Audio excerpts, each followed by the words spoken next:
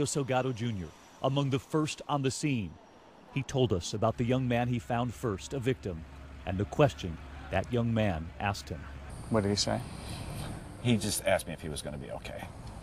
And I tried to reassure him. How hard is that? It's very hard because they seem so helpless, you know, and it's just like, uh,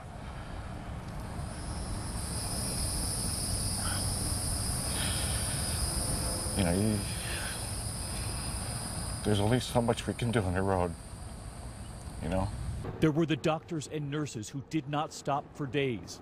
Surgeon Joshua Langford, and the question he so often heard